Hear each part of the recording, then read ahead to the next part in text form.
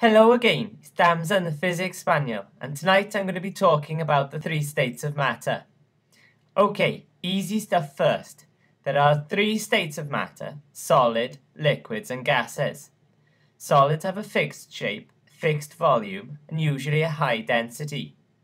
Liquids have no fixed shape, but fill the bottom of the container that they're in. They are usually less dense than solids, but are more dense than gases. Gases have no fixed shape or volume. They expand to fill the whole of any container they're put in. They have the lowest densities. Particles have a small amount of energy each, which makes them move around. Solid particles are held tightly in place, so they can only vibrate. The more energy the particles have, the faster they will vibrate. This is the same for liquids and gases, but their particles are free to move around. So instead of just vibrating, they move around faster or slower, depending on the amount of energy they have.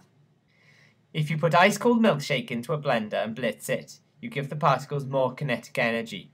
You can see this because not only do the particles move around more, but their temperature goes up. Stop the blender and pop a thermometer in. It'll be warmer. You might want to put it back in the fridge before you drink it though.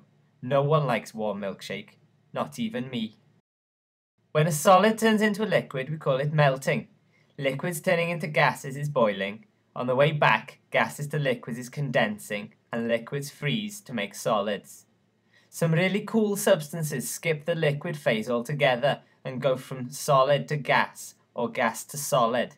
This is called sublimation. I've said it before that if you give more energy to a substance, it warms up. When a substance like ice melts, it still takes in energy, but won't get any warmer until all of the solid has melted. This is why your drink stays nice and cool until all the ice in it melts. The same is true when water freezes. Energy is given out by the water as it turns to ice, but the temperature doesn't go down. That's about all you need to know about the states of matter, so I'll be off now to roll on the carpet in the lounge and wave my legs in the air. It always makes the humans laugh, so maybe they'll give me a biscuit. Goodbye!